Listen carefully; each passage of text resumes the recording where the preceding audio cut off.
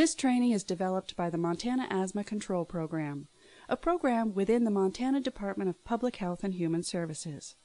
Today I'm going to talk to you about what you need to know about keeping children with asthma safe and healthy in the child care setting. For this training, you will need the Asthma Education for Child Care Providers booklet that accompanies this teaching. The booklet is available free of charge on our website, and a hard copy will be sent to you upon completion. The first 30 pages of this booklet were originally developed by the San Diego Asthma Initiative.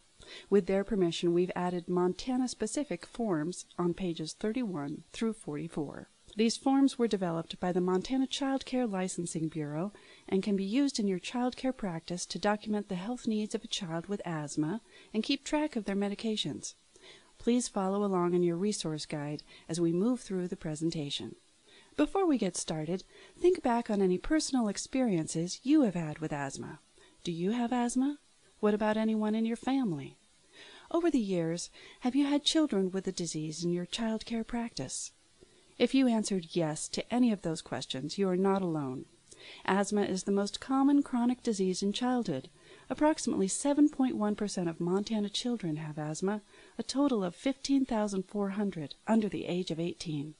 Young children, like the ones in your care, often have the most severe cases of asthma. This slide, with Montana data from 2014, shows that young children aged 0 through 9 are hospitalized at some of the highest rates of asthma hospitalizations compared to all other age groups in the state, outside of people 65 and older. This is because the lungs of young children are still developing and vulnerable to more severe outcomes if asthma symptoms occur, especially if the child has a respiratory infection like a cold or the flu. Though asthma affects children of all ages, certain groups are more likely to have the disease than others. As we'll talk about later, asthma can be triggered by things like dust, mold, and tobacco smoke. So children from low income families and those that live with smokers or have substandard living conditions are more likely to have asthma. As I spoke about before, young children in Montana have more severe asthma outcomes, and before puberty, boys are more likely to have asthma than girls. Data from the Montana Medicaid program shows that American Indian children may be more likely to have asthma than whites in the state. And because there is a genetic component to the disease, Children whose parents or other close relatives have asthma or allergies may also be at higher risk. So, what is asthma? Asthma is a chronic disease for which there is no cure. However, asthma can be controlled. A child with well controlled asthma will not have debilitating symptoms that keep him or her out of child care and should be able to participate in all activities. To see what goes on in the lungs of a child with asthma, look at the picture on the left side of the screen. The left side of the figure shows a normal lung, and the right side of the figure is an asthmatic lung. With asthma, there are two processes occurring in the lungs. First, in the airways, there is underlying inflammation, meaning that the wall of the airways is thicker than normal. This is the silent component of the disease because it is an ongoing disease process and does not always cause the patient to have symptoms like wheezing or coughing. When a child with asthma has an asthma attack, the smooth muscle around the airways clamps down, causing the airways to narrow even further. This is the noisy component of the disease that makes a child have active asthma symptoms. So, how can you tell if a child with asthma is having an attack? It is important to know what the early signs of an asthma attack are and act quickly to help the child before the attack becomes more severe. The early signs of an attack are cough, wheezing, breathing faster than usual, feeling tired, chest tightness, runny nose or scratchy throat. It is important to remember that coughing can be a sign of an asthma attack. In fact, in some children, coughing will be their only asthma symptom. So, what should you do if you witness the early signs of an asthma attack for a child in your care? The answer to this question is outlined on page 5 of the resource guide. First, administer the child's quick relief or rescue medication. Second, consult the child's asthma action plan. Third, monitor the child to make sure they improve. Also, speak calmly to the child and help them move away from anything that might have triggered the asthma attack. Have them sit in a quiet location as you monitor them to ensure that they are improving. If an asthma attack is not treated properly or caught early, the symptoms can progress and become a health emergency. The emergency warning signs of an asthma attack are breathing very quickly, hunched over, severe wheezing, nostrils open wider with each breath, hard time walking or talking, skin on ribs pulled tight, lips, skin, or fingernails are blue. Quick relief medication isn't working. If any child in your care with asthma has these symptoms, you should follow the steps outlined on page 6 of the resource guide. First, call the child's healthcare provider or 911 to get medical help right away. Refer to the child's asthma action plan in the red or emergency zone for specific instructions and administer his or her rescue medication. Keep track of how many puffs of an inhaler you have given the child. If indicated in the asthma action plan, you can give more doses of the rescue inhaler after 5 to 10 minutes if the first dose is not working. Now that we've covered what to do if a child has an asthma attack, let's talk about what causes these attacks. The main cause of an asthma attack are things in the environment that caused the child's asthma to flare up. For each child, these triggers will be different, but a few common ones are represented on this slide, including diesel exhaust, tobacco smoke, pollen, animal dander, cleaning products, and cold air. On pages 7 to 12 of your resource guide, the various asthma triggers are covered in depth with practical tips on how to reduce or eliminate them from your childcare environment. The resource guide divides the asthma triggers into irritants, like tobacco smoke and cleaners, allergens, like mold and pets and other things such as respiratory infections, exercise, and cold weather. Here are a few practical tips for creating an asthma friendly environment. If you care for a child with asthma, find out which triggers affect them. Keep your indoor environment free from smoke and strong sprays. When possible, clean surfaces with warm water and mild soap. Minimize stuffed toys, upholstered chairs and carpets, etc. Keep furry animals out of indoor environments. Ensure that children wash their hands and bundle up if it's cold. Allow children to warm up before exercise. Carefully monitor children with asthma, especially during exercise, cold weather, and allergy season. Because asthma triggers are unique to each person with asthma, and because each child care environment is also unique, we recommend that you do your own assessment using the resource guide to help you as you seek to make simple changes that will make your environment healthier for the children in your care. Another important step to controlling asthma is ensuring that the children in your care are using their asthma medications correctly. There are two kinds of medications for asthma. Remember how we said that there are two processes going on in the lungs of a child with asthma airway inflammation and smooth muscle squeezing? The two types of drugs for asthma address these two symptoms. The first type of drug we will discuss are rescue medications.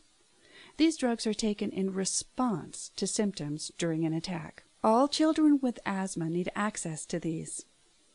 Relax the smooth muscle squeezing in the airway. Safe, effective. These medications most often come in an inhaler. However, some young children may use a nebulizer for their rescue medication. Rescue medication is the most important kind of asthma drug for child care providers to be aware of because all children with asthma should have access to their rescue medications at all times in case of an attack. The second type of asthma drugs are controller medications. These drugs are taken to prevent symptoms, reduce inflammation in the airways, address the silent component of the disease. Taken daily, usually at home. Most common, inhaled corticosteroids. Safe, effective. To help a child with asthma take their medications, you may need to know how to use a number of devices. The most important device is the rescue inhaler, also known as a metered dose inhaler. For young children, it's best to use the rescue inhaler with a spacer. To help a child use an inhaler with a spacer, remove the cap from the inhaler. Shake the inhaler. Put the inhaler in the spacer. Have the child put his or her lips around the spacer mouthpiece and exhale through their nose. Press the inhaler and coach the child to take a deep, slow breath for 5 seconds. And hold breath for 10 seconds. Exhale. Wait at least one minute before administering a second puff, if indicated. You should also know how to assist a child to use their rescue inhaler without a spacer. The steps to do this are covered in the Asthma Education for Child Care Providers resource guide. The Asthma Education for Child Care Providers guide covers how to help a child using an MDI without a spacer.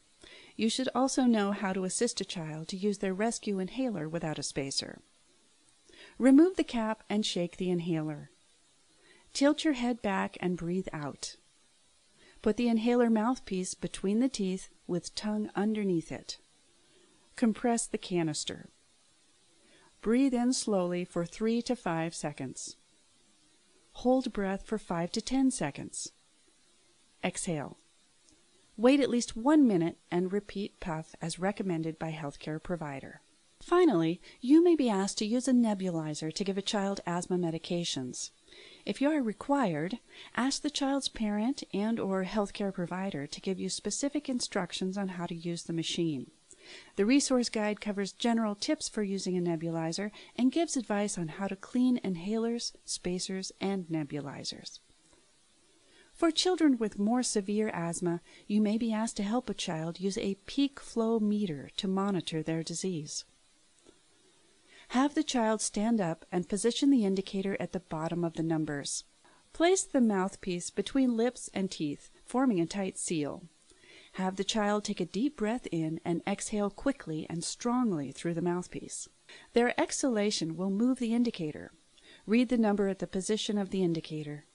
Repeat again to get the most accurate reading and clean the mouthpiece after reading.